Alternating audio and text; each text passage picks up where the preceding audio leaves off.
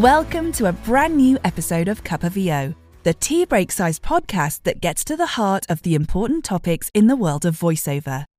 Expect candid stories, top tips, and sage advice as I chat with expert guests who are at the top of their game in the voiceover industry. I'm your host, Kimberley Parker, tea addict and VOpreneur.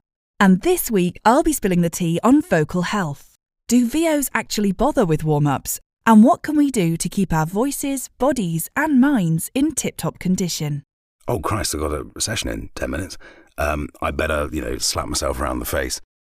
We're all very well versed on techniques to use when we're in the booth recording to elevate our performances and bring a script to life. But what about techniques to maintain and look after our vocal health after the session ends, at the end of the day, or on the weekend when we're not working? We use our voices all day, every day, and it's sometimes easy to forget that it's our most valuable tool and that we need to look after and monitor it if we don't want to jeopardize our livelihoods. I have to admit, I'm guilty of not always warming up fully before a session, but I'm getting much better at noticing in advance when my voice isn't quite right and taking the steps I need to get things back on track. I found one book in particular really helpful. If you want to learn more about how the voice works, as well as useful exercises to use every day, then I'd recommend seeking this one out. This is a Voice by Jeremy Fisher and Gillian Kayes is a practical toolkit of step-by-step vocal exercises to help speakers and singers of all abilities to transform the quality of their voice. It contains 99 exercises to train, project, and harness the power of your voice. I keep this book next to my booth, and it's my go to for last minute warm ups and troubleshooting any issues I have. It's really easy to navigate, and there are lots of simple diagrams to help with understanding the more technical explanation of things. Whether it's scales, lip trills, tongue release, jaw release, yawning, full body warm ups, hydrating, avoiding alcohol and caffeine, or eating green apples.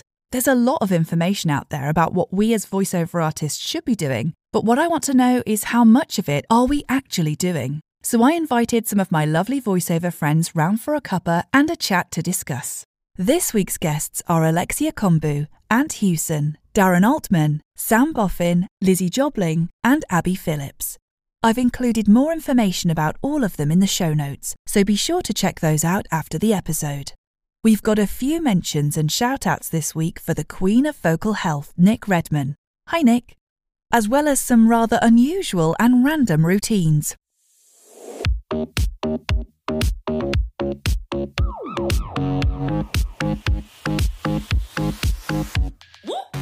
Um, in terms of warm ups, I would say like Nic Redman is your go to to check out her videos. Um, I just do some trills, some sirens. Um, you know, have you heard of the puppy whimpers? The yeah, just really high pitched. Um, I feel like that's a that's a really good one, um, and just general um, hydration. I always have a hot drink. Um, try and start hydrating. They say from the night before, don't they? But do we do that? I don't really. in terms of warm ups, I generally go, "Oh Christ, I've got a session in ten minutes." um, I better, you know, slap myself around the face. So, you know, genuine, you know, rubbing your cheeks, um, some tongue waggling, a few scales, that sort of thing. I do find that I don't know if this is the case for you. When I go to a directed session, I am not one of those people that could ever go into workshops where they say, right now, shake yourself around, you know, behave like a chicken, do the, you know, do the weird things that make you feel self-conscious. So I can't go into a booth and say, sorry, Mr. Engineer, give me five minutes while I do my scales. That's not going to happen. And I'm also not going to do it walking down the street like a lunatic. Well, don't tell Nic Redman this, but I don't. I don't do any warm ups. I, you know, I've never done warm ups. You know, lip trills and the one thing I will do is stay hydrated throughout the day. Drink a lot of water.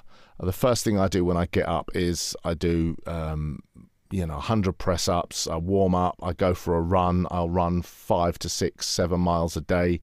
It's so up and down what we do. If I don't, you know, if I have a bad day, you know, where I've I've done one little job or no jobs, at least I've run. I have just recovered from laryngitis and in fact, I can still hear a little bit of it in my voice. Um, so, prior to that bout of laryngitis, I would have said, um, you know, I, I, think the biggest thing for me personally is I got quite a clicky voice, so I need to drink a lot of water. Um, that's something that I have to do every day, and even at the weekends, I have to keep myself hydrated all the time, and it's no good sort of having a boozy night before a session. So I can't drink in the week, which I find quite irksome actually. because you can hear it in the voice the next day. So, so I think hydration. And for me, I have a load of tongue twisters that I do. That if if I can't do the the sort of Nic Redman scales, I haven't got time to do that or something. I've at least got a few tongue twisters under my belt that uh, will allow me to warm up my mouth. So those are the two things I think are the really important things for me: is getting my mouth warmed up, uh, and also actually getting the whole body warmed up. I suppose um, that I would say, and I always stand even if I'm long form, I stand. Don't you find it brings it just brings an energy to it? I mean, I am terrible at warming up. I don't know if I should be saying that, especially as a voiceover business coach. I'm not sure, um, but uh, say, do as I say, not what I do, or whatever it is. Um, I would say one of the sort of the key things that I have learned, and I learned these from a variety of sources, um, predominantly Nic Redman, Lip trills, definitely. I sort of just go around the house doing that quite often in the morning. Um, and I do love a body shake. But that is more sort of like just shaking your arms and your legs out and that sort of thing. But I do find that actually that's beneficial if you're in a bit of a funny state of mind anyway, because um, it just releases any tension. There's quite a lot of evidence and research behind that anyway. Um, so I do do a bit of that. The other th- really important thing that I learned along the way, and from Nic Redman as well, was if you've got a really early morning session, the best thing to do is hydrate the night before. Um, definitely drinking adequate amounts of fluids the day before and the evening before. You will actually wake up hydrated because hydration happens from inside outside. So there's no point glugging three pints of water at half past eight in the morning when you've got a nine o'clock session because that's going to sort of lubricate the outside of all your bits and bobs without sounding too crude um, and not the inside. it is difficult because it's i mean it's just like anything like we, we all should be drinking more water. We all should be doing this. We all should be doing that. And especially if you're using voice of course you know that's paramount but you just fall into bad habits. But yeah the lip trills definitely hydrating the night before all the way. And don't eat toast. Just don't eat toast before your session. So obviously, getting ill is the scariest thing ever for us, um, and losing our voices.